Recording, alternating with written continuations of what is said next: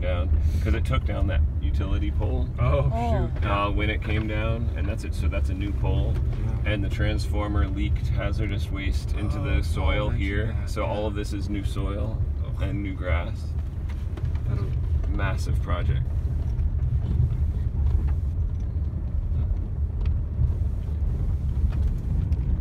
So this starting here, this is Smith property, and we own all the way to the bottom of the valley, and for about a mile heading to the north.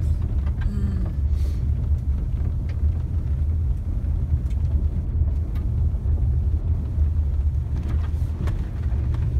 Some chunks of